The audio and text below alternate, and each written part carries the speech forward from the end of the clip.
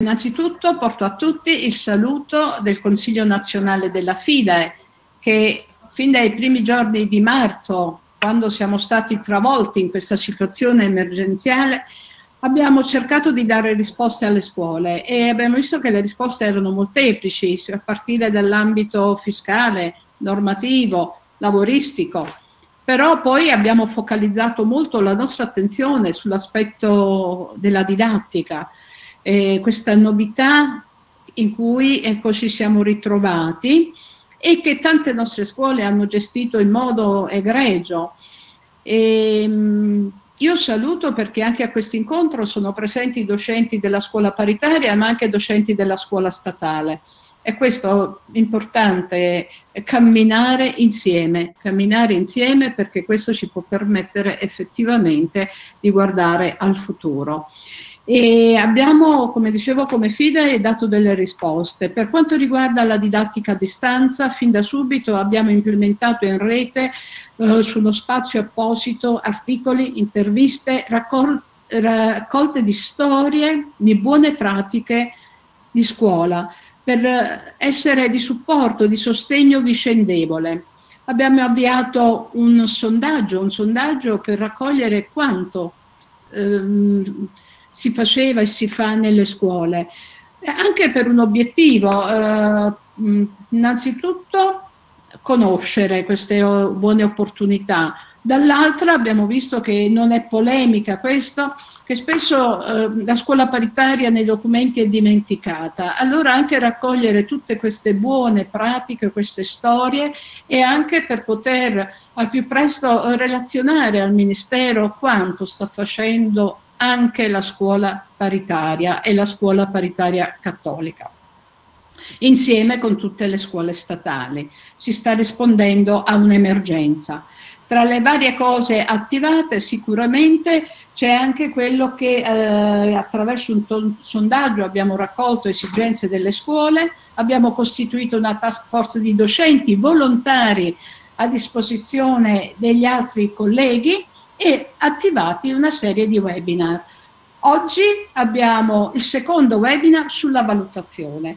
Abbiamo affidato questo tema a, Dino Cristanini, innanzitutto e soprattutto un uomo appassionato della scuola e un esperto di sistemi formativi già dirigente tecnico e direttore nazionale dell'Invalsi. Lo ringrazio per la sua disponibilità, per la sua attenzione, ma soprattutto per la sua chiarezza e la sua competenza.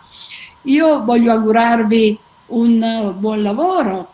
Al termine eh, saranno da adesso, prima di passare la parola al dottor Cristanini, chiedo al dottor Maffeo della fila di dare alcune indicazioni di carattere tecnico.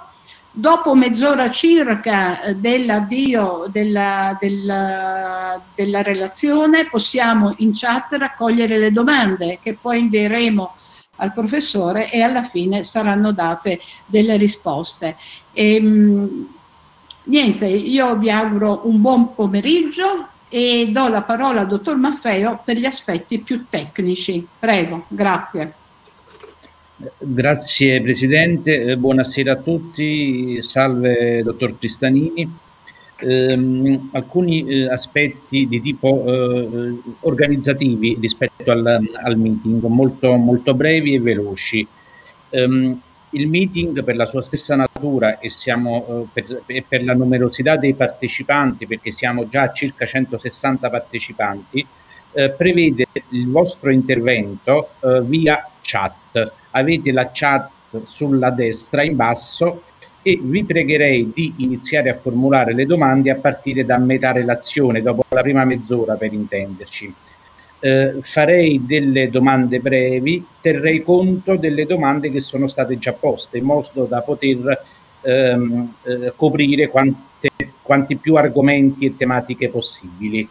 Um, altro elemento importante, eh, alla fine del, del, seminario vi sarà inviata una email con la possibilità di dare il, il, vostro livello di soddisfazione con un questionario, ma allo stesso tempo scaricare anche un attestato di partecipazione. Ultimo ma non ultimo, eh, tutto quello che adesso voi seguirete in diretta sarà posto sul nostro sito, sul sito della FIDE eh, registrate, compreso, mh, compresi anche le slide. Per il resto poi vi auguro, vi auguro buon lavoro.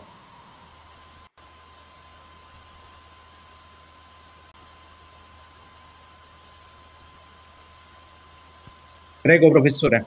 Vado? Bene. Sì, eh, dovrò cominciare a correggere intanto la data sul, sulle slide che ho messo quelle di domani. Dunque, il titolo dato a questo webinar sintetizza tutta una serie di questioni che si sono poste in questo periodo sulla valutazione nella didattica a distanza, perché sono state evidenziate varie funzioni della valutazione, funzioni didattiche, eh, all'inizio, durante e al termine dell'azione didattica quali sono le funzioni della valutazione. È un classico valutazione diagnostica, valutazione formativa, valutazione sommativa che tra un po' espanderò, eh, espanderò dovutamente.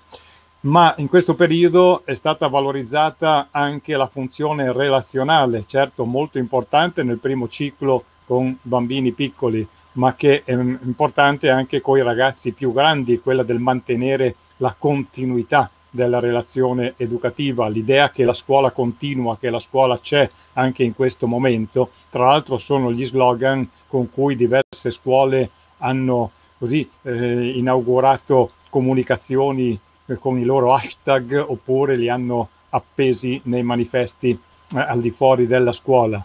E di questi tempi però ci si ricorda che la valutazione ha anche una funzione certificativa. Qualcuno certo stigmatizza questa idea del ricordare il voto in questa situazione, però insomma c'è nella normativa e anche un senso dal punto di vista didattico. Ecco, queste funzioni come possono essere attuate, quindi che cosa si può valutare, come valutare in funzione di questi perché? Quindi è il tipo di ragionamento che svilupperemo in una cinquantina o una sessantina di minuti. Adesso vediamo come va. Eh, didattica a distanza, io aggiungerei didattica a distanza in situazione di emergenza, perché un conto è una didattica a distanza che eh, sia stata pensata apposta per questa funzione quindi esistono corsi di formazione di vario genere, corsi universitari, corsi di formazione per professionisti di vario genere che si basano sul principio della didattica a distanza e però sono appunto pensati per tempo e programmati a tal fine.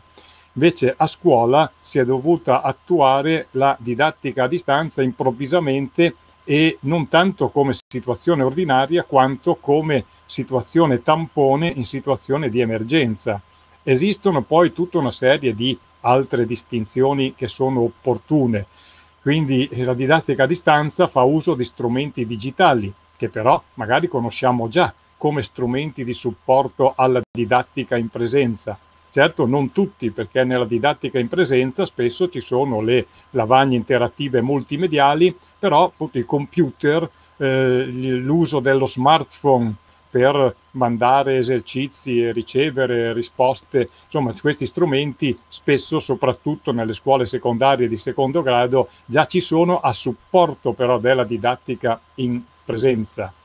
Didattica eh, integrata è quella che Indire chiamava tempo fa didattica blended, una didattica che prevede momenti in presenza e momenti a distanza. Anche questa a volte ci può essere nei rapporti con gli studenti quando pensiamo alla modalità flipped, per cui si inviano dei materiali da approfondire a casa mentre a scuola poi si fa discussione laboratorio su quei materiali, sono tutte forme un po' conosciute, però la situazione in cui ci troviamo oggi è molto diversa, didattica a distanza in situazione di emergenza che tra l'altro cambia completamente il setting didattico, poi dipende molto anche eh, dal tipo di strumenti che si utilizzano, insomma, perché un conto è la didattica con video lezione in presenza, un conto è eh, l'insegnante che appunto non, non, riesce a vedere gli studenti e anche quando li vede, li vede a uno a uno. Quando poi non li vede abbiamo il lamento dell'insegnante che dice sono stufa di eh, parlare dei quadratini colorati che sono appunto ciò che stanno al posto degli studenti sul video. Quindi una situazione molto particolare, una situazione a cui eh, siamo giunti eh, improvvisamente tra la fine di febbraio e l'inizio di marzo. Ecco, eh, questo, questo, schema, questo schema grafico ci fa capire esattamente qual è la situazione di questo anno scolastico. Un anno scolastico che per 5 ottavi o giù di lì, perché settembre non è stato pieno del tutto, e comunque è stato realizzato con la normale didattica in presenza. È una situazione poi che eh, a fine trimestre o fine quadrimestre, a seconda della periodizzazione deliberata dal collegio dei docenti, ha visto una valutazione intermedia che è stata fatta con, le, con i normali criteri e con le normali valutazioni. Quindi fino a febbraio noi disponiamo di eh, elementi di conoscenza circa la valutazione acquisiti in modalità normale. Nei tre mesi successivi, invece, si è dovuta attuare in modo più o meno improvvisato la didattica a distanza in situazione di emergenza ed è emerso il problema della, eh, della valutazione in questa situazione, che però è emerso in eh, due momenti distinti, perché all'inizio e, comunque per buona parte del mese di marzo si è ragionato, in genere si pensava che fosse possibile rientrare a scuola in tempi non lontanissimi, quindi che fosse una situazione così che sarebbe durata poco. E quindi sono nate tutta una serie di posizioni diversificate tra chi si è precipitato a dare continuità all'azione didattica, chi ha opposto varie ragioni di contrarietà alla didattica a distanza, magari pensando che di lì a un po' insomma si sarebbe ripreso. In realtà adesso fine marzo, inizio aprile si è capito che eh, la ripresa, eh, il ritorno a scuola, se ci sarà, sarà eh, abbastanza lontano, ma che molto probabilmente non ci sarà. Anzi, qualcuno già si pone il problema di dire ma a settembre sarà possibile riprendere normalmente o dovremo continuare con modalità a distanza oppure dovremo fare i turni per fare attività per semiclassi in modo da tenere distanziati gli studenti. Quindi, insomma, eh, abbiamo capito che almeno per eh, gli ultimi tre mesi di quest'anno si lavorerà in situazione di didattica a distanza e però a fine, eh, alla fine anno scuola, a fine delle lezioni, ci sarà comunque una valutazione finale, anche se il decreto legge che abbiamo letto in bozza ci dice che tutti saranno comunque ammessi all'anno successivo o ammessi all'esame, una qualche forma di valutazione ci sarà. Quindi è cambiata un po' la prospettiva ed è probabile che adesso in questi due mesi o mese e mezzo che manca alla chiusura delle lezioni si farà più eh, sistematica e anche un pochettino più strumentata, più supportata dall'esperienza precedente la didattica a distanza. Ecco, questo per inquadrare un po' il periodo in cui ci troviamo a lavorare, per cui al di là del, della letteratura sulla didattica a distanza, che è corposa e ha tutta una storia che è evoluta nel tempo dai primi corsi col cartaceo spedito per corrispondenza a corsi in tv fino all'attuale situazione che vede l'integrazione di una pluralità di mezzi e però è una didattica a distanza che adesso è stata insomma attuata improvvisamente. Ora, le eh, funzioni della valutazione nel percorso curricolare come ragionamento base per impostare il ragionamento sulla valutazione nella didattica a distanza da quando in Italia è, è stato adottato l'approccio curricolare, quindi parlo di metà degli anni 70, sappiamo che la valutazione è una funzione che accompagna continuamente il percorso di insegnamento-apprendimento. Eh, si valuta all'inizio per capire cosa sanno gli studenti, ormai lo sappiamo perché tutti fanno i test di ingresso per, con prove più o meno comuni per valutare la situazione iniziale, magari bisognerebbe anche valutare come imparano proprio per capire quali approcci didattici possono essere efficaci. C'entra la funzione diagnostica con la valutazione a distanza in situazione di emergenza? Beh, c'entra perché eh, il prossimo anno bisognerà programmare il recupero degli apprendimenti. Eh, poi parleremo del recupero apprendimenti eh, a proposito del decreto legge recentemente approvato, insomma approvato l'altro ieri dal Consiglio dei Ministri che dobbiamo però ancora vedere però nella sua versione definitiva. Qualche commentatore ha già osservato la differenza tra eh, recupero delle insufficienze e recupero degli apprendimenti, che il recupero delle insufficienze riguarda quegli studenti che già nel corso del primo quadrimestre possono aver mh, avuto delle insufficienze in qualche disciplina. Il recupero degli apprendimenti invece è una questione generalizzata, perché in questi tre mesi eh, tutti hanno avuto una limitazione nella erogazione dell'insegnamento e quindi eh, il recupero apprendimenti è una questione che riguarda la generalità degli studenti, ma per impostare l'azione di recupero occorre eh, fare il punto su cosa avranno imparato alla fine di questo anno scolastico. La funzione formativa è eh, la funzione che finora le note ministeriali hanno enfatizzato in modo particolare, sostenendo che nell'ambito della didattica a distanza occorre prima di tutto attivare la funzione formativa. Ora, in letteratura noi abbiamo due interpretazioni della funzione formativa. La più antica è quella che è stata eh, codificata alla fine degli anni 60 quando Michael Scriven eh, parlò di valutazione formativa, intendendo con questo una valutazione sistematica effettuata durante il percorso di insegnamento-apprendimento per capire se gli studenti stavano, stanno o meno imparando e quindi per ricavare da parte dell'insegnante le informazioni necessarie alle decisioni successive, per capire se si può andare avanti perché hanno imparato o se è necessario cambiare approccio didattico perché gli studenti non hanno imparato col primo approccio utilizzato. Quindi una funzione di regolazione del percorso didattico. In tempi più recenti, invece, si è parlato molto di valutazione per l'apprendimento. Quindi la funzione formativa è stata intesa come feedback allo studente per restituirgli le informazioni necessarie a diventare consapevole della propria situazione riguardo all'apprendimento e soprattutto per dargli informazioni su come migliorare.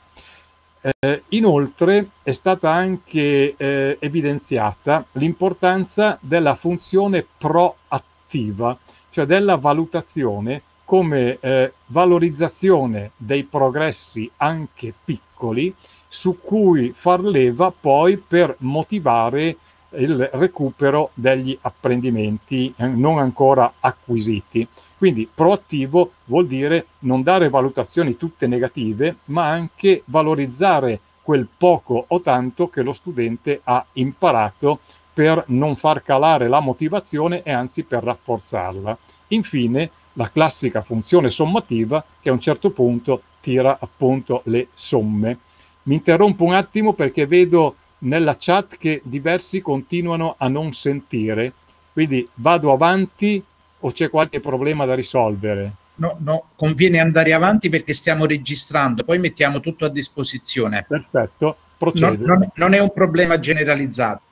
Bene, eh, fino alla fine di eh, marzo sulla valutazione noi abbiamo assistito a una serie di prese di posizione. Ormai nei social, insomma, sappiamo che un po' tutti scrivono e quindi eh, si eh, eh, possono rilevare molte opinioni che qui ho riportato per fare il punto, insomma, molti pedagogisti e psicologi hanno sostenuto l'importanza di curare prima di tutto la didattica a distanza come contatto, come segno di vicinanza, come mantenimento di una relazione educativa Questo sicuramente con gli alunni del primo ciclo, ma anche per il secondo ciclo molti rit- hanno ritenuto importante evidenziare questa funzione, questo segnale che appunto eh, c'è la vicinanza della scuola, che la scuola non si ferma, la scuola continua in un'altra forma,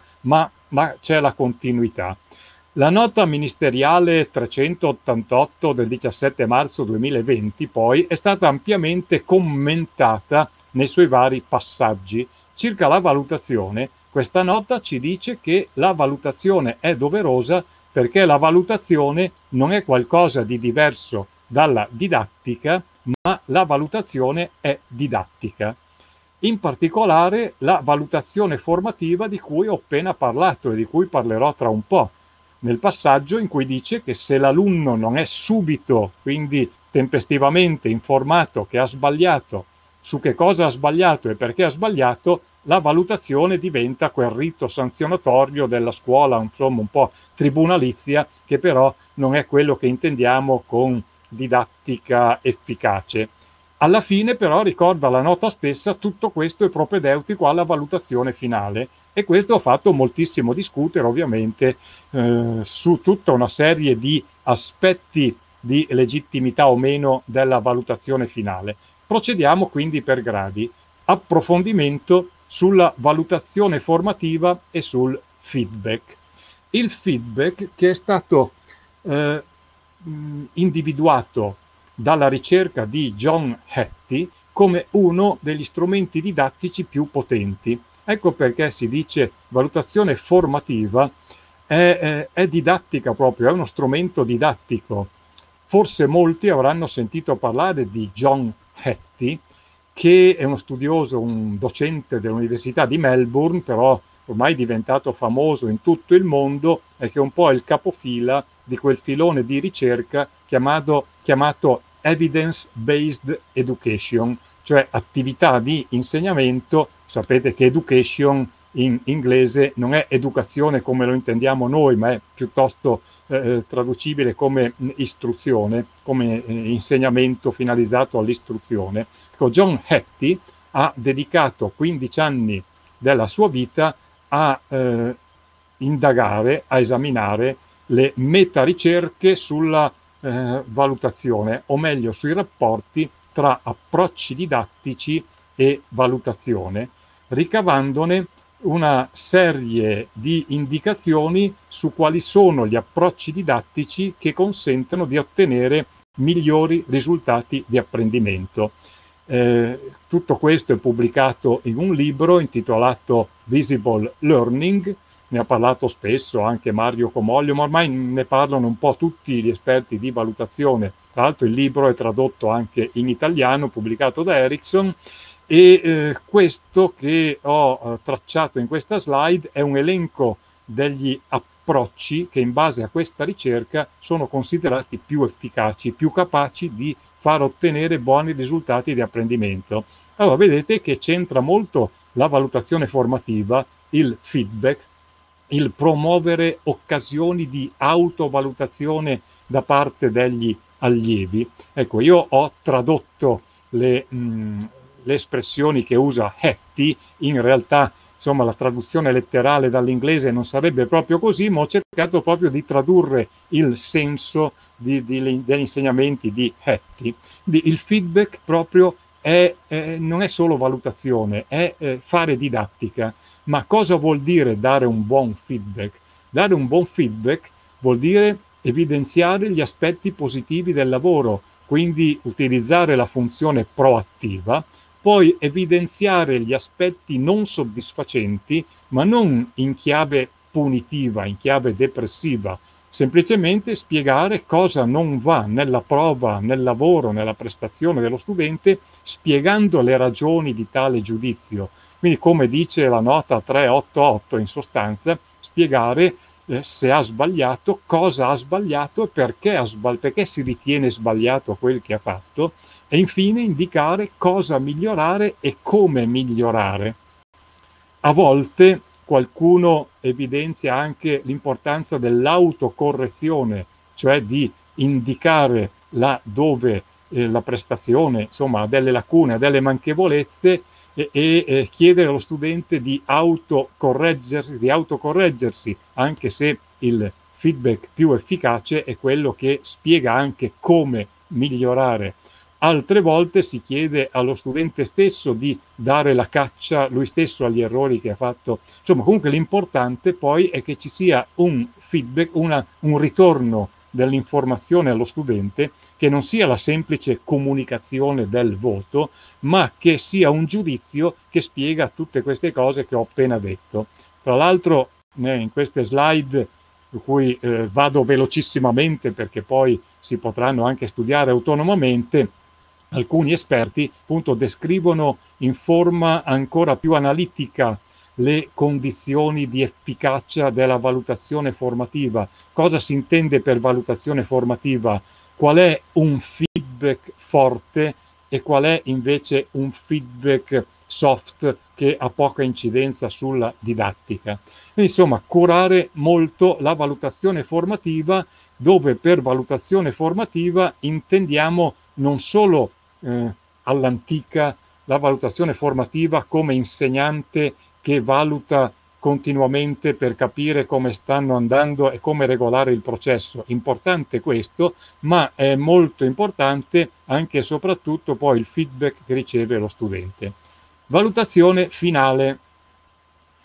Ecco, questa ha sollevato, come eh, ho premesso, tutta una serie di interrogativi. Uh, qualcuno dice, ma ha senso parlare di valutazione sommativa? O meglio, questo è stato detto molto in marzo non so adesso se aprile e maggio continueranno tutti questi dubbi.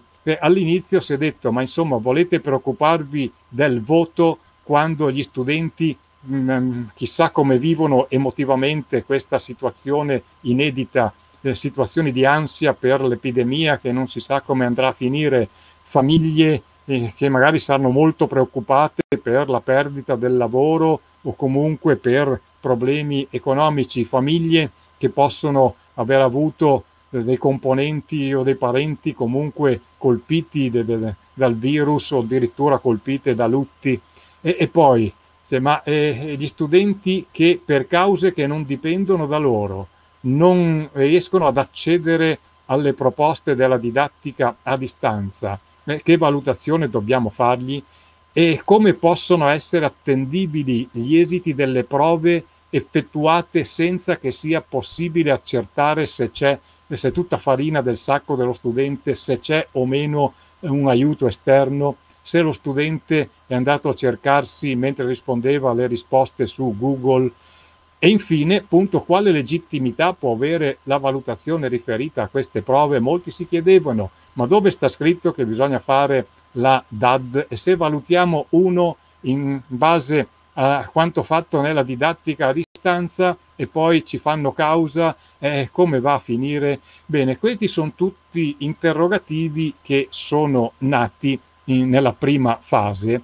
Adesso abbiamo qualche risposta in più, o almeno eh, avremo eh, dal decreto legge approvato dal Consiglio dei Ministri lunedì scorso, l'altro ieri, e di cui sono circolate finora le bozze bozze attendibili, ma insomma aspettiamo di vedere la versione definitiva. Intanto ragioniamo su quello che abbiamo. Il decreto prefigura due scenari. Il primo che viene giudicato abbastanza improbabile, ma comunque teoricamente anche possibile, ripeto, pur se altamente improbabile. Il secondo invece dato come più probabile.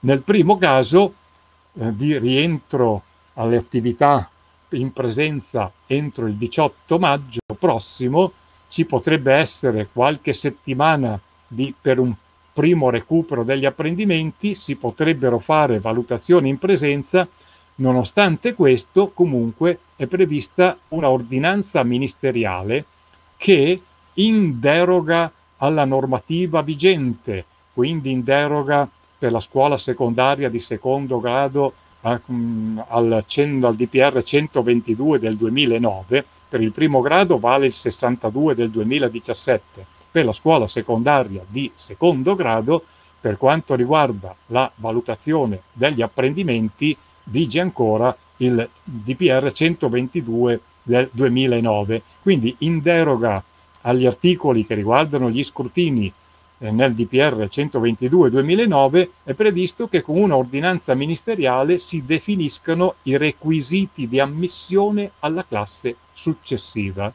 Questi requisiti di ammissione eh, non si sa come saranno, però il decreto legge stabilisce già dei criteri, dice che bisognerà considerare i risultati di apprendimento conseguiti sulla base della programmazione svolta, risultati che andranno quindi accertati, considerando però anche il processo formativo. Poi vediamo cosa può voler dire processo formativo. Se si rientra, eh, l'esame di Stato conclusivo della scuola secondaria di secondo grado avrebbe la prima prova definita a livello nazionale come eh, sempre, mentre la seconda prova sarebbe predisposta dalla singola commissione d'esame sulla base della programmazione effettivamente svolta. I commissari, i componenti della commissione sarebbero tutti interni, a parte il presidente che sarebbe esterno con funzioni insomma di garanzia. Lo scenario più probabile, quello del non rientro entro il 18 maggio, prevede invece possibili scrutini finali in via telematica. Come nel caso precedente, la definizione con apposita ordinanza ministeriale dei requisiti di ammissione alla classe successiva e, e all'esame di Stato, probabilmente, anche se non, non viene detto in modo esplicito, eh, eh, tutti saranno ammessi, però l'ordinanza ministeriale ci dovrà dire eh, come si verrà ammessi alla classe successiva e all'esame di Stato, eh, nel senso che si può ammettere tutti col 6, si può prevedere una diversificazione dei voti solo sufficienti, si può prevedere una diversificazione anche con voti insufficienti, poi eh, tanto l'anno prossimo bisognerà fare il recupero degli apprendimenti. Tra l'altro per la scuola secondaria di secondo grado bisogna tener conto del fatto che la media dei voti contribuisce anche alla definizione del credito scolastico, quindi insomma vedremo questa ordinanza ministeriale cosa ci dirà. Certo, ripeto, punti fermi sono che andranno considerati i risultati di apprendimento e il processo formativo. L'anno prossimo, a parte quelli che escono dalla quinta, si dovrà pensare al recupero degli apprendimenti. L'esame di Stato sarebbe costituito solo da un colloquio, magari rafforzato rispetto al, a quanto previsto in via ordinaria dal DPR 62 2017, poi dalle altre norme applicative. È prevista, tra l'altro, anche la revisione dei criteri di attribuzione dell'eccellenza e del relativo premio.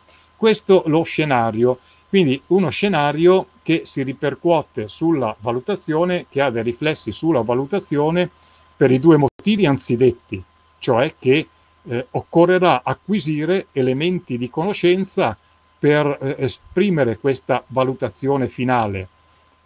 Occorrerà avere gli stessi elementi di conoscenza per programmare il recupero nel prossimo anno. E poi c'è un altro passaggio su cui già eh, ho visto che ci sono tutta una serie di dibattiti, un passaggio del decreto legge che dice che il personale docente nei periodi di sospensione dell'attività in presenza assicura comunque le prestazioni didattiche nelle modalità a distanza, utilizzando strumenti informatici o tecnologici a disposizione. Quindi è un, un rafforzamento dell'idea che insomma la didattica a distanza diventerebbe praticamente obbligatoria, non prescrive forme specifiche, ma insomma il decreto legge in questo modo esclude la possibilità di non far nulla, ma che una qualche forma di didattica a distanza va comunque realizzata. Su questo c'è molta discussione, ma insomma procediamo oltre. Eh, date queste premesse, alcune condizioni da tenere presente. La valutazione, dicono le norme, appunto, eh, DPR 122, ma anche il 62 2017, la valutazione deve essere coerente con l'offerta formativa e, aggiunge l'ultimo decreto, con la programmazione effettivamente svolta. Quindi è necessario rimodulare le progettazioni didattiche rispetto a quelle previste all'inizio d'anno per individuare quali siano gli obiettivi effettivamente mh, perseguibili in questo periodo. Ovviamente è vero che molte scuole nella scuola di secondo grado hanno mantenuto un orario scolastico eh, normale anche con la DAD, però insomma eh, fare attività a distanza sappiamo che ha tutta una serie di problematiche in più rispetto alla ricchezza delle interazioni in presenza. Quindi si tratta di individuare nella progettazione curricolare ordinaria quali sono quegli apprendimenti fondamentali, essenziali, che possono essere ragionevolmente perseguiti a seconda del tipo di didattica a distanza attuata. I criteri di valutazione, ci dice lo statuto delle studentesse e degli studenti, ma anche altre norme seguenti, devono essere trasparenti. Quindi anche i criteri di valutazione devono essere riconsiderati alla luce di come nella scuola è stata impostata la didattica a distanza. Se vengono ritenuti compatibili quelli già deliberati inizio d'anno, benissimo, altrimenti bisognerà fare una delibera di rimodulazione ad hoc. La valutazione finale comunque non si basa solo sugli esiti eh, verificati negli ultimi tre mesi, è una sintesi che deve tener conto di una pluralità di elementi relativi all'intero percorso scolastico e in particolare quest'anno abbiamo le valutazioni effettuate nel primo trimestre o quadrimestre e comunque nei primi cinque mesi. Eh, abbiamo le valutazioni effettuate nel periodo della didattica a distanza e abbiamo la partecipazione al processo formativo. Tra l'altro la partecipazione al processo formativo è una delle cose che, secondo la normativa, vengono tenute presenti anche per decidere la, eh, se dare il voto, se dare il credito scolastico nella fascia alta o nella fascia bassa no, di, di, di, ogni, di, ogni, livello. Quindi mh, cose che insomma non è che non siamo abituati a valutare. La valutazione in itinere è eh, necessaria per acquisire gli elementi su cui basare la valutazione finale e su cui basare la futura progettazione dei percorsi di recupero, certo va effettuata tenendo conto delle situazioni individuali, quindi qui occorre molta sensibilità situazionale da parte di chi valuta. Qual è la situazione personale di ciascuno studente? Quali possibilità di accesso ha avuto alla DAD? Che tipo di partecipazione ha dimostrato in rapporto alle possibilità. Quindi, insomma, eh, eh, non basta il talento individuale, ma occorre dimostrare anche di mh, mm, aver mh, mm, dato mh, impegno, costanza alla partecipazione.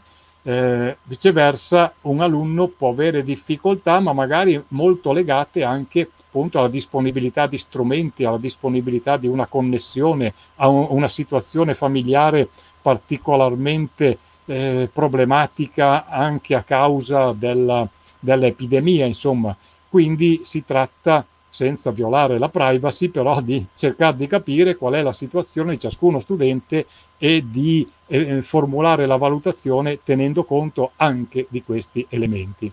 Certo che mh, con l'ammissione generalizzata eh, la differenza sarà abbastanza interessante rispetto agli anni precedenti. Nel primo ciclo non tanto, perché già abbiamo visto che nella secondaria di primo grado in genere il 98% passa da una classe all'altra. Questi sono i dati invece su scrutini ed esami nella secondaria di secondo grado relativi allo scorso anno scolastico, quindi come vedete insomma in genere c'è una sospensione del giudizio per debito formativo, una percentuale di non ammessi eh, un po' più elevata e quest'anno invece saranno tutti ammessi, quindi l'anno prossimo occorrerà capire bene come organizzare il recupero degli apprendimenti.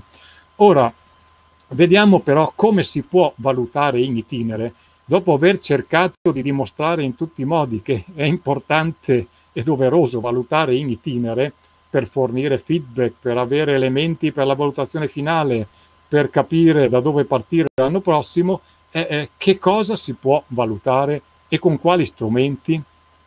Eh, eh, le cose valutabili beh, non sono molto diverse dai normali esiti di apprendimento, solo si tratta di capire in base alla rimodulazione di obiettivi che abbiamo fatto e agli, e, e, agli strumenti che possiamo utilizzare, che cosa nella nostra particolare situazione possiamo valutare.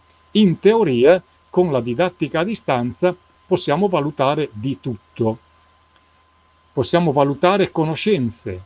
Ora, le conoscenze, eh, bisogna chiarirsi, perché le conoscenze sono di vario genere.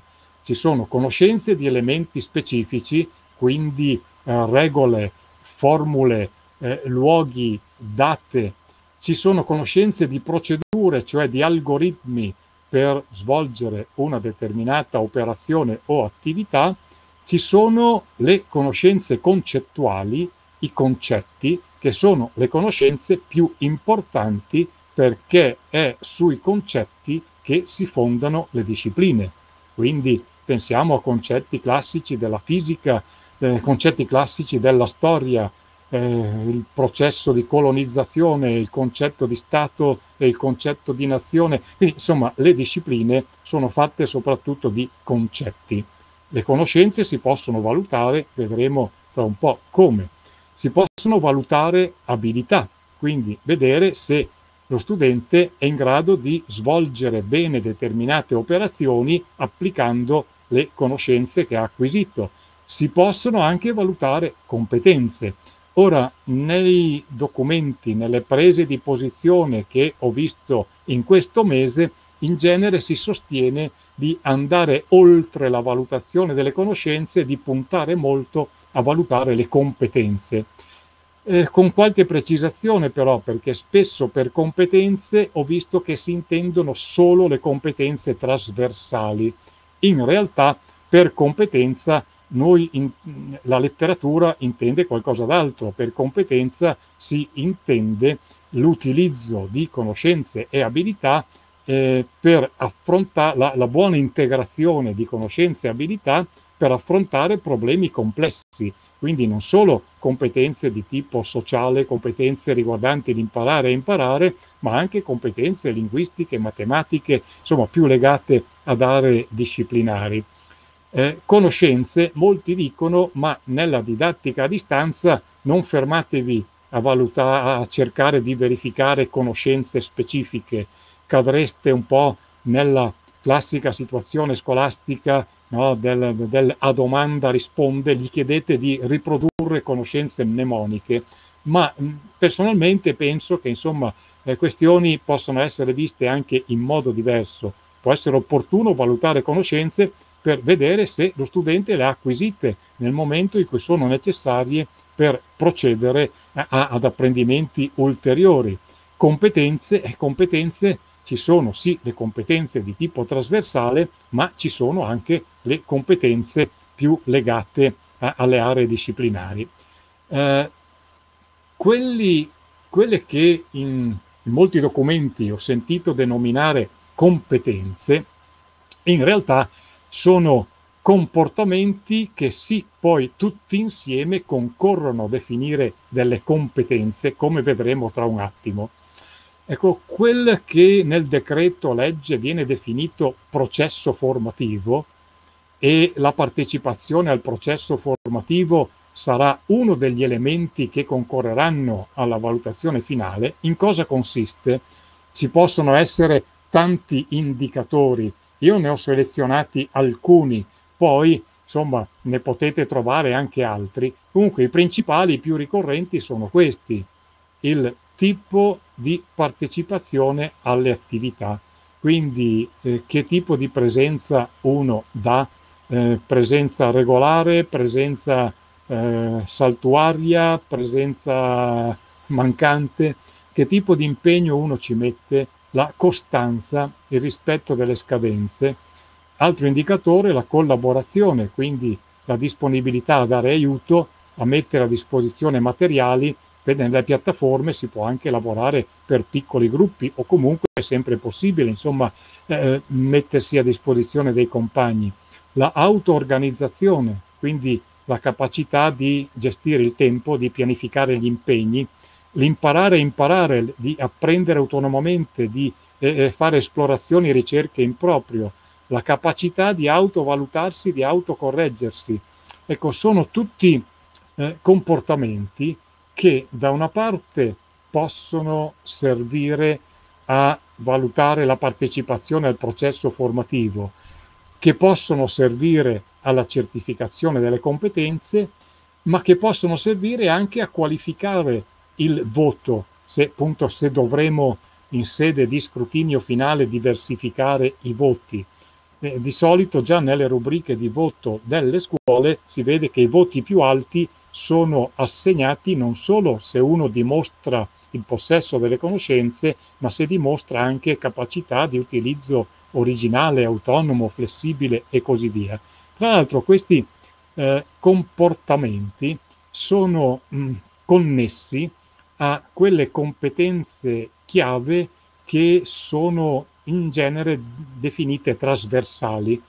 A rigor di logica tutte le competenze sono trasversali, però insomma nel linguaggio ordinario della scuola di solito si ritengono competenze trasversali quelle che vedete lì elencate e che anche nei PCTO, nei percorsi per le competenze appunto trasversali e l'orientamento, sono indicate come obiettivi delle attività dei PCTO nelle linee guida per i PCTO allegate al decreto ministeriale 774 del 2019 c'è anche una tabella dove per ognuna di quelle competenze trasversali vengono elencate delle capacità che sono in gran parte riferibili a quei comportamenti che prima elencavo, quindi la capacità di riflettere su se stesso, di gestire il tempo e le informazioni, di imparare a lavorare in modalità collaborativa.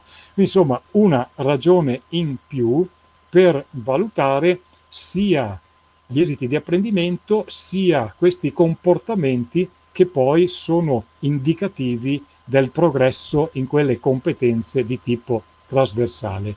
E come si valutano tutte queste cose? Ma eh, teoricamente ci sono tanti strumenti, poi bisogna vedere una scuola com'è attrezzata. Eh, la nota 388 del Ministero ci diceva che didattica a distanza può essere diverse cose, eh, quindi trasmissione ragionata di materiali didattici, ma con successiva rielaborazione e discussione eh, operata direttamente o indirettamente, quindi non la semplice trasmissione di materiali e dire adesso studiate che poi verifico, ma materiali poi su cui lavorare, attività di tipo interattivo su app o piattaforme di vario tipo. Eh, per la valutazione il panorama ci eh, presenta tutta una serie di possibilità. Conversazioni eh, in sincrono, sia individuali sia di piccolo gruppo. Ecco, conversazioni meglio che interrogazioni. Eh, qualcuno nelle linee guida date alla propria scuola ha inserito le interrogazioni, tra l'altro anche con una serie di raccomandazioni per evitare eh, gli apporti esterni, quindi accensione di fotocamera, fotocamera puntata sullo studente per, che deve guardare la fotocamera stessa e quindi eh, si vede se invece gira lo sguardo alla ricerca di eh, informazioni con Google, magari sul telefonino, o si vede se appare qualche familiare a dare suggerimenti. Conversazioni è meglio di interrogazioni, quindi non l'interrogazione fatta da serie di domande un po' in stile poliziesco, ma una conversazione dalla quale possa emergere il possesso delle conoscenze, ma anche la capacità di collegarle, di fare argomentazioni, che tra l'altro è ciò che verrebbe richiesto anche nel colloquio d'esame. È possibile fare eh, prove, test di vario tipo, eh, Google Moduli, che è una delle piattaforme più, insomma, all'interno lì del Google Classroom, che è una delle piattaforme più utilizzate, consente di farli, ma anche molte altre piattaforme o anche altre applicazioni consentono di produrre test di vario genere che poi se non fatti direttamente in piattaforma possono essere restituiti all'insegnante in altro modo, su, sulla piattaforma stessa o anche con altre modalità, anche attraverso WhatsApp o email e così via. Produzioni scritte di vario tipo, in asincrono, quindi saggi, relazioni su ricerche, esperimenti, eh, schemi, eh, video, ecco, sono tutte produzioni che si possono fare eh, in asincrono e poi riconsegnate ed esaminate dall'insegnante. Le competenze a loro volta sono rilevabili sempre con le stesse metodologie, solo che cambia il tipo di lavoro. Per rilevare una competenza io devo dare un compito più complesso, quindi ecco eh, relazioni insomma, dalle quali si veda la, la capacità argomentativa e la capacità di costruire testi coesi.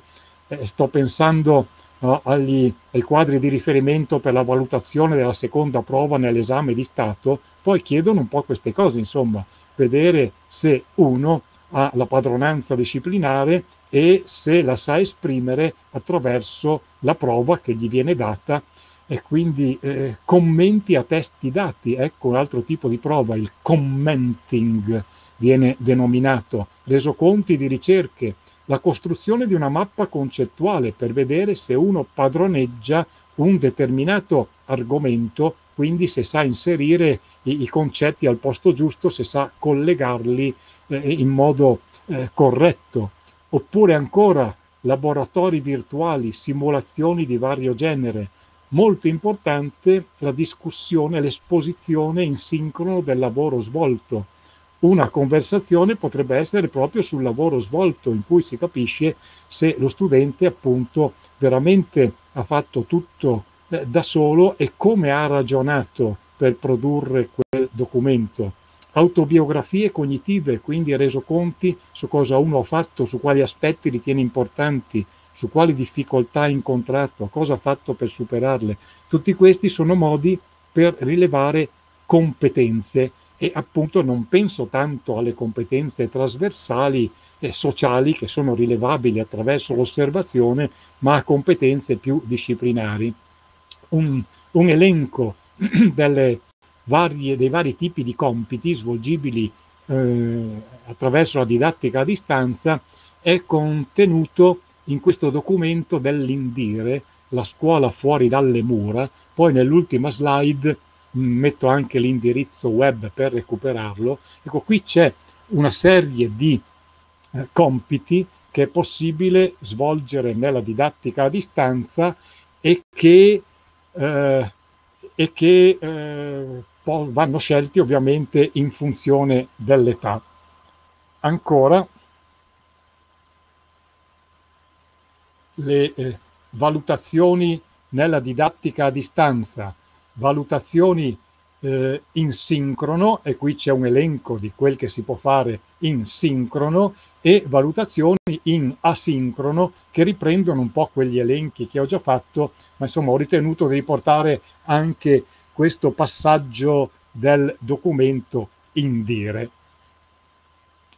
E infine, come si rilevano i comportamenti eh, attraverso ovviamente le osservazioni dei, dei, comportamenti in sincrono e anche desumendo altre informazioni dalle attività svolte in maniera asincrona, quindi attraverso l'analisi della cura, del lavoro e così via.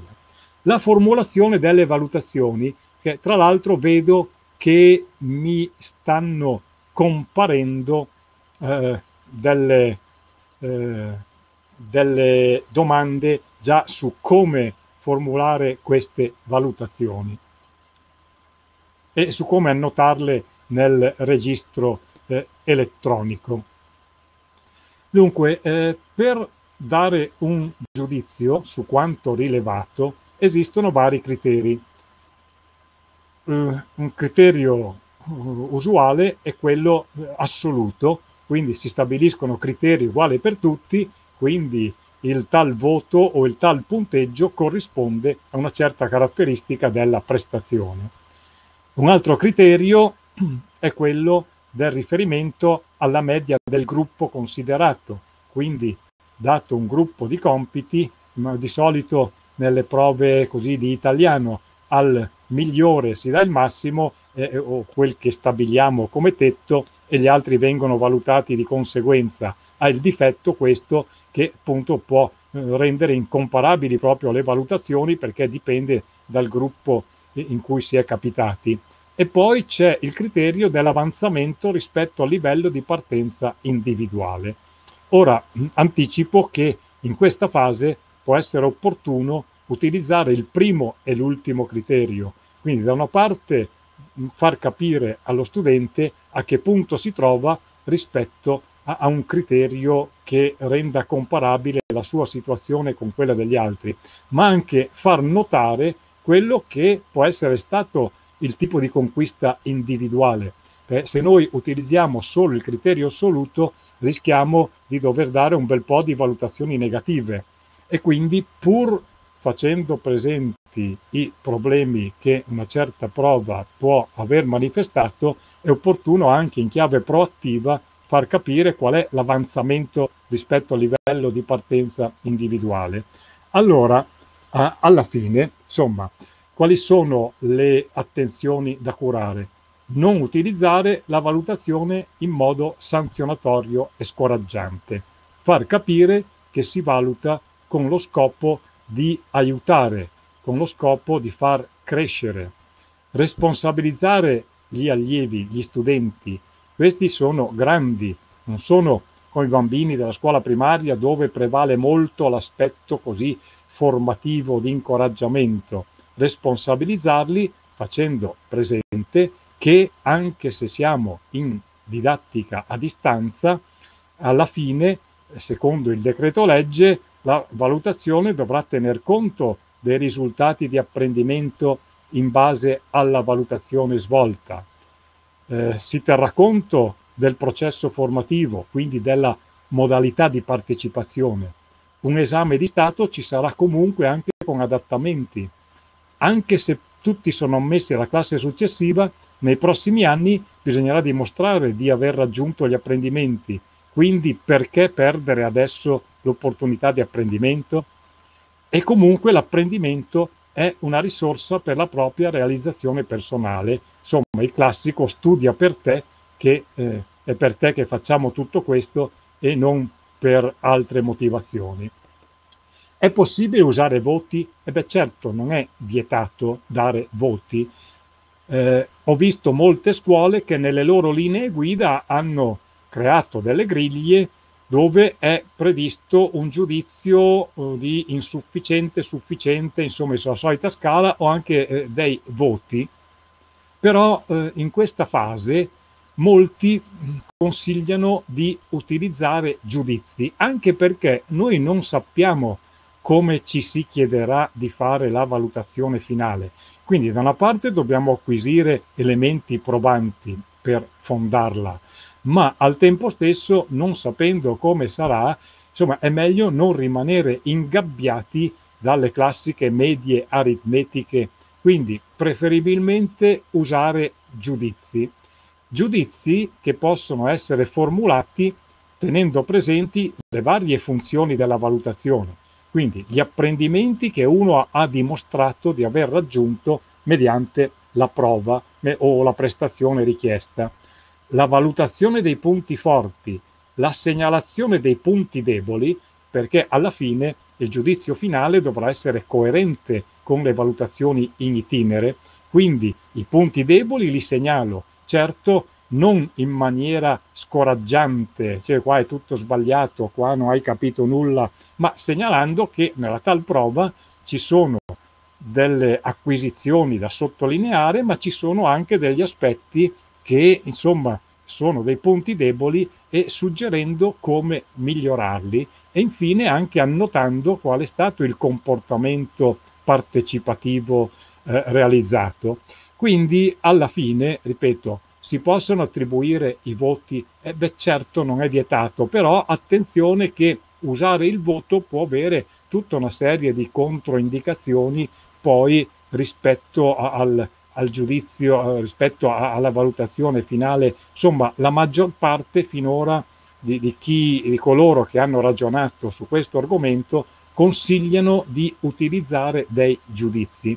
Ci sono diverse griglie che sono state, eh, eh, ah ecco, mi si chiede, i registri elettronici prevedono numeri, come possiamo registrare i giudizi? Ma io ho visto scuole che hanno consigliato di registrare nella sezione agenda del registro elettronico. Adesso non so i vari modelli di registro elettronico in uso, però ci sono scuole che hanno consigliato di registrare eh, il, il, giudizio eh, usando il registro elettronico come strumento di comunicazione più che come strumento di eh, che come strumento usuale insomma dove registrare i voti su cui poi si farà la media ecco qual, qualcuno dice ma se io ho sempre dato voti per valutare le competenze perché non dovrei farli adesso? Ma io ripeto, non sto adesso indicando delle soluzioni dogmatiche, sto rappresentando quello che è eh, eh, l'insieme di elementi desumibili dal dibattito attuale. Quindi i voti uno li può anche dare e poi fare la media ponderata e non la media aritmetica, ma eh, Adesso valutiamo cosa è opportuno fare data questa situazione. Ora, data la, soluzione, data la situazione, ripeto, dato anche il fatto che non, adesso io non so nelle varie classi quanti siano gli studenti che non hanno potuto accedere pienamente alla didattica a distanza e così via, allora si tratta di utilizzare tutta una serie di attenzioni. Quindi, appunto, eh, il consiglio è quello di eh, accompagnare sempre eh, l'esito della prova con un giudizio. Qualcuno dice ma io posso dare voto e giudizio? Beh certo, l'importante è che non sia eh, un voto secco. No? Vi ricordate il feedback debole? Il feedback debole dice beh hai preso questo voto, punto. L'importante invece è che ci sia una funzione formativa e proattiva dove uno valorizza gli aspetti positivi e anche segnala quali sono i punti deboli e da migliorare. Ecco, nell'ultima slide io eh, eh, presento anche una serie di indirizzi web dove potete trovare i, gli indirizzi di scuole che hanno creato griglie, rubriche apposite per far vedere come hanno ragionato. Poi ognuno è chiaro che si deve costruire le proprie rubriche e come ho detto prima eh, è opportuno che i criteri di valutazione, vedo una domanda in questo senso, siano poi eh, preliminarmente deliberati a livello di collegio, naturalmente a livello di collegio telematico perché in presenza adesso non si può andare e probabilmente non si potrà andare, visto che la valutazione deve essere trasparente e, e, e i criteri vanno dichiarati prima, quindi un passaggio di collegio ci vuole. Quindi insomma si tratta, ripeto, di eh, eh, mettere insieme valutazione formativa proattiva e eh, preparazione della valutazione sommativa attraverso questi accorgimenti. E, e, cosa fare appunto delle valutazioni, restituirli in funzione formativa, annotare eh, in attesa delle ordinanze ministeriali sulla valutazione finale, annotare come. E appunto ho visto tante soluzioni. Una sol- tanti pensano anche di annotare non sul registro elettronico, ma la maggior parte dice no, usiamo il registro elettronico che è lo strumento anche formale di comunicazione con la famiglia. Però eh, facciamo presente che si tratta di una valutazione fatta in situazione di didattica a distanza, in situazione di eh, sospensione dell'attività in presenza per situazione di emergenza, in modo da attribuire eh, eh il valore situazionale a queste valutazioni.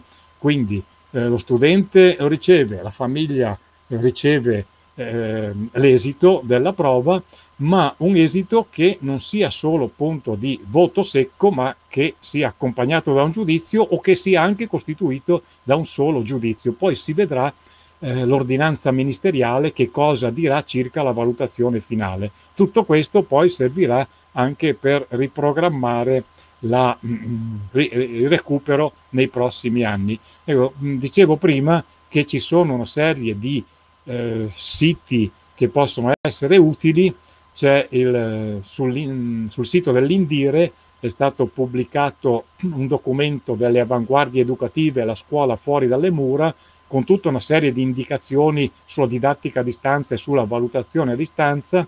Sul sito dell'Iprase di Trento sono presenti degli interventi video registrati di relatori vari, appunto, sul, sia sulla didattica a distanza, sia sulla valutazione a distanza, nello specifico per il primo ciclo e per la scuola secondaria di secondo grado. Sul sito della rivista online della Tecnodid, la scuola 7, ehm, l'indirizzo che lì riporto, c'è un intervento di Alessandra Rucci eh, di Ancona sul, sugli strumenti utilizzabili per la valutazione a distanza e poi ehm, indico i siti di due licei eh, il, liceo, mh, mm, il, liceo, di Aprilia e il liceo Bertolucci di Parma, anche lì con delle linee guida sulla eh, valutazione nella didattica a distanza e anche con griglie. Ecco, nel, nel sito del liceo Bertolucci ci sono anche delle rubriche valutative sia sugli aspetti trasversali sia sulla valutazione delle singole prove che possono essere utili per capire cosa è stato fatto in altre scuole. Poi, come dicevo, eh, non ci sono indicazioni dogmatiche, questo si può fare, questo non si può fare, c'è solo una serie di riflessioni su cosa è sensato fare in una situazione come questa, dove appunto eh, non abbiamo una normativa ad hoc, ma dove bisogna cercare di capire cosa può essere sensato fare dal punto di vista psicologico, dal punto di vista didattico e anche dal punto di vista normativo, tenendo presente la normativa che c'è e quella che è in fase di elaborazione con nuovo decreto legge. Quindi, ripeto, ogni scuola ha una certa flessibilità anche in base alla situazione degli studenti che ha, al tipo di didattica a distanza e gli strumenti che ha utilizzato, al tipo di competenze dei docenti, perché bisogna vedere poi che cosa eh, si è in grado di fare a seconda delle competenze disponibili presso i docenti e da lì cavarne fuori la sintesi più sensata. Ecco, quindi siamo giunti con questo alle 17.38 e io mm, vedo appunto diverse domande, penso di aver risposto a tutto anche man mano che arrivavano Vediamo se ce n'è qualcuna a cui uh, non ho risposto. Eh, una domanda è questa. Cioè, è consigliabile effettuare una media tra il voto di una prova scritta a distanza e il comportamento dello studente durante le lezioni online? Uno studente può essere bravo ma comportarsi male, conviene dunque tenere distinte le due cose, ma più che il voto appunto eh, si può dare un giudizio si può dire guarda la tua prestazione eh, vale tot, eh, ma attenzione che la tua partecipazione è stata così. Qui e siccome nella valutazione finale dovremo tener conto anche della valutazione, te lo segnalo così ti regoli per la prossima volta. Ecco, qualcuno mi chiede, dice, potrebbe approfondire la sezione dedicata alla valutazione del comportamento? Ecco, eh, attenzione, che io parlo di comportamenti riferiti a competenze trasversali, quindi quei comportamenti che ho citato sono comportamenti relativi al processo formativo e alle competenze di tipo trasversale, quindi competenze sociali, competenze sull'imparare e imparare, e competenze di tipo imprenditoriale. Mm, alcuni aspetti servono anche alla valutazione vera e propria del comportamento, che però è, altra cosa, insomma, perché poi nel comportamento ci mettiamo anche rispetto, cioè eh, la valutazione del comportamento di solito è riferita al comportamento in classe, quindi rispetta le regole di vita della classe, rispetta i compagni, rispetta gli insegnanti, ha cura de- de- degli arredi, insomma, e-, e così via. Quindi qui ci sono solo alcuni aspetti che poi possono entrare nella valutazione del comportamento. Tra l'altro vedremo cosa ci diranno poi sulla valutazione del comportamento in senso stretto. Qui intendiamo comportamento come eh, mh, tipo di partecipazione alle attività a distanza, quello che nel decreto legge chiamano partecipazione al processo formativo. E comunque, ecco, questi aspetti è opportuno segnalarli, eh, probabilmente non incidono sulla valutazione della prestazione in sé, possono incidere sulla valutazione finale e possono essere segnalati eh, nelle singole valutazioni in itinere nel giudizio accanto al giudizio sulla prestazione. Come dicevo, se dovessi valutare io, darei un giudizio sul tipo di eh, prestazione e quindi sugli apprendimenti che quella prestazione rivela, sul tipo di eh, aspetti da migliorare e sul tipo di partecipazione, quindi darei tre, eh, eh insomma, tre giudizi che insieme potrebbero costituire un giudizio complessivo. Oppure qualcuno dice do il voto sulla prestazione e poi il resto lo do come giudizio. Insomma, le modalità sono tante.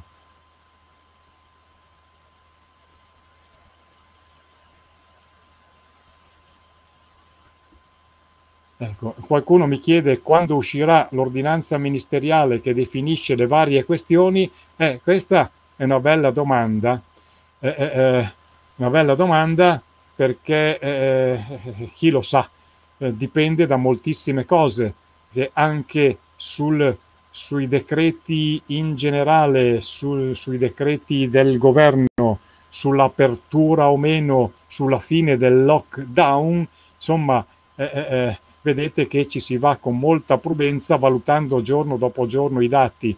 Quindi credo che anche un, le ordinanze ministeriali eh, aspetteranno di vedere almeno maggio come si profilerà la situazione. Certo che prima si sa, meglio è.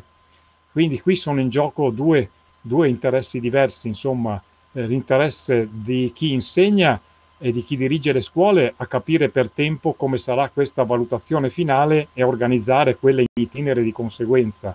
Chi deve prendere la decisione invece eh, eh ha tutto l'interesse a tenere d'occhio l'andamento della situazione epidemica. Può essere ragionevole pensare a maggio quando insomma, si capirà se c'è una qualche lontana possibilità di rientro in classe o se questa non c'è. Quindi eh, vediamo.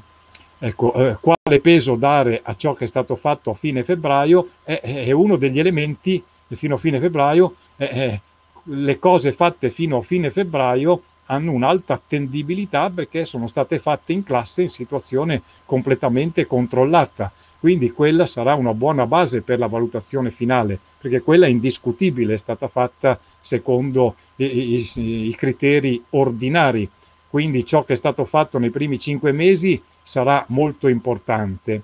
Poi mi si chiede, eh, dice, di fronte ad alunni che presentavano molte insufficienze a febbraio, che mezzi abbiamo noi per non regalare la sicura ammissione? Ah, l'ammissione all'anno successivo è, è, è prevista per tutti, quindi a meno che uno sia stato assente per tutto il primo quadrimestre, ma insomma da quanto si è capito l'ammissione eh, sarà per tutti perché è difficile dire a uno eh, non ti ho dato l'occasione in presenza di recuperare le insufficienze.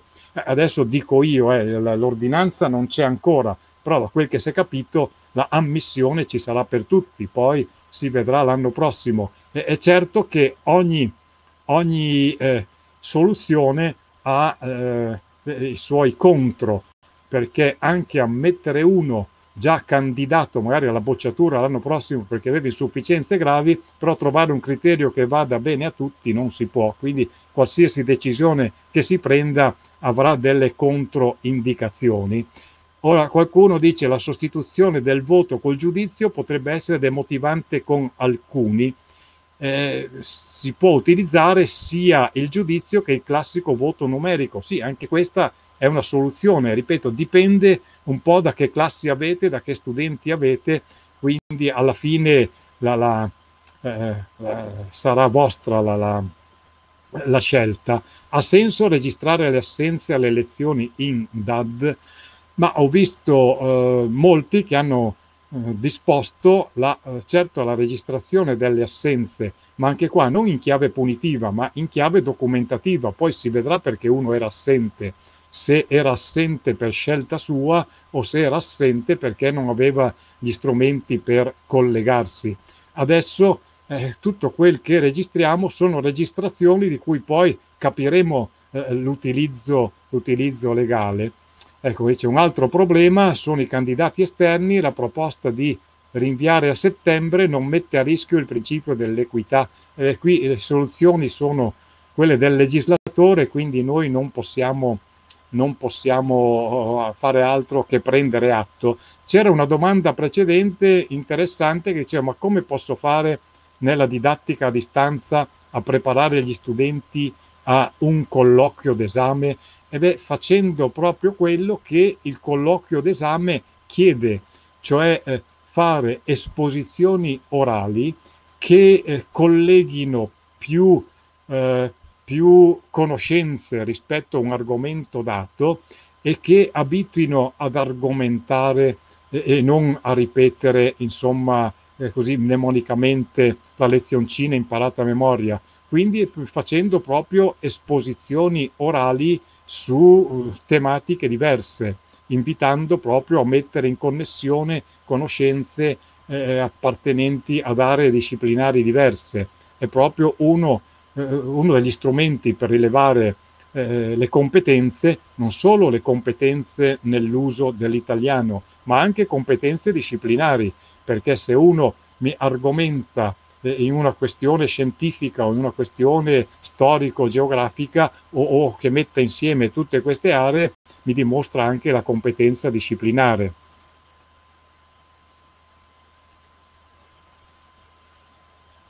Bene, ci sono altre domande che mi sono sfuggite, se ci sono segnalatemele, altrimenti non resta che dire vabbè, partiamo da queste cose che ci siamo detti, pensando che da qui a giugno tante altre se ne diranno, arriveranno indicazioni ministeriali, ci saranno esperti che faranno proposte, quindi continuare a seguire l'argomento. Grazie dottor Cristianini, come sempre chiaro e mm, lungimirante anche in una lettura di quello che in una situazione emergenziale possiamo fare. E io ringrazio a nome di tutti il dottor Cristianini e contiamo ancora nel suo aiuto in questo cammino e, e vedremo le modalità. Come già anticipato, eh, da domani pomeriggio il materiale sarà eh, inserito sul sito della FIDE e, e poi sicuramente mm, presto faremo anche altri aggiornamenti. Grazie ancora dottor Cristianini, grazie a tutti per la partecipazione e buona serata a tutti. Grazie.